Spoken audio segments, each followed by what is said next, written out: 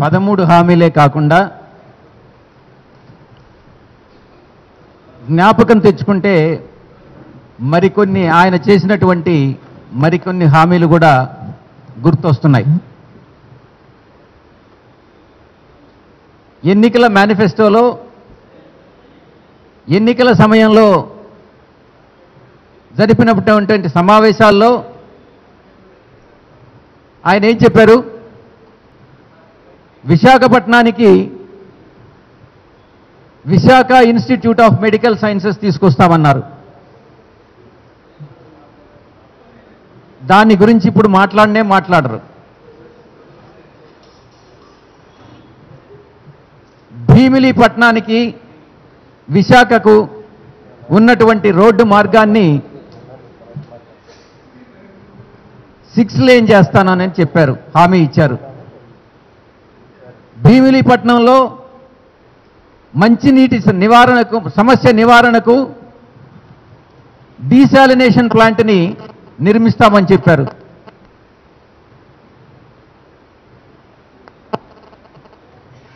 అరకు విశాఖ అరకుకి ఒక అద్దాల రైలుని వేస్తామని చెప్పి హామీ ఇచ్చారు. సింహాచల పంచగ్రామాల సమస్యను పరిష్కారం చేస్తామని చెప్పారు. గాజువాక భూ సమస్యను పరిష్కారం చేస్తానని హామీ ఇవ్వడం జరిగింది.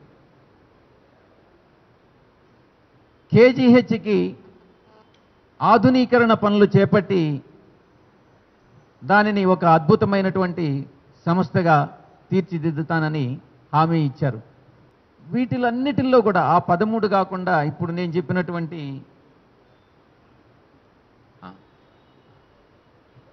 విశాఖపట్నాన్ని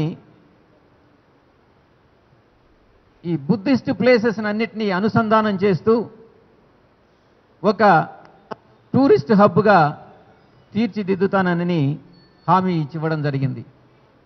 ఈ హామీల్లో కనీసం ఒక్క హామీ గురించి కూడా ఒక సంవత్సర కాలం పూర్తి చేసుకున్న తర్వాత కూడా దాని గురించి చర్చ ఇచ్చినటువంటి సందర్భాలు కూడా లేవు అన్నటువంటిది మనం ప్రజలందరికీ తెలియజేయాల్సినటువంటి మీడియా ద్వారా తెలియజేయాల్సినటువంటి అవసరం ఉంది. వీటినన్నిటినీ కూడా ఎత్తి చూపి ప్రజలకు తెలియజెప్పి తెలుగుదేశం ప్రభుత్వం చేయలేనటువంటివన్నీ కూడా మా పార్టీ చేస్తుందన్నటువంటి భరోసా ప్రజలకిచ్చి ఎన్నికలకు వెళతామనని ఈ సందర్భంగా మేము ప్రజలకు తెలియజేసుకుంటున్నాం. ధన్యవాదాలు. ఇండియన్ ఇన్స్టిట్యూట్ ఆఫ్ మేనేజ్మెంట్కి శంకుస్థాపన చేయడం జరిగింది. రెండు ఇంక్యుబేషన్ సెంటర్కి కూడా ఇన్నోవేషన్ అండ్ ఇంక్యుబేషన్ సెంటర్కి కూడా ఇనాగరేషన్ చేయడం జరిగింది. ఇక్కడ ఒక పాయింట్ని మాత్రం ఒక విషయాన్ని స్పష్టం చేయాలి. ఇనాగ ఫౌండేషన్ స్టోన్ లే చేసినంత మాత్రాన సరిపోదు. స్పష్టమైనటువంటి కాల పరిమితి ఇవ్వాలి. బడ్జెట్లో దానికి అలొకేషన్ ఇవ్వండాలి. గ్రాంట్ ఇవ్వాలి. ఇదంతా కూడా ఇదంతా కూడా ప్లాన్ ఎక్స్పెండిచర్ కింద వస్తుంది. ఎక్కడ మీరు స్పష్టమైనటువంటి కాల కాల పరిమితి ఏదైనా చెప్పారా? టైం బౌండ్ ప్రోగ్రామ్ ఏదైనా ఇచ్చారా? ఇంకా విశాఖపట్నానికా? మీరు మీరు మీరు అడిగే ప్రశ్నలోనే స్పష్టత లేదు.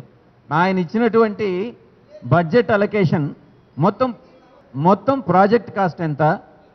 బడ్జెట్లో బడ్జెట్లో అలొకేట్ చేసినటువంటి నలభై తొమ్మిది కోట్లు దేనికోసం? అది ఆ ఆ అలొకేషన్ అనేటటువంటిది విజయవాడకి సంబంధించా?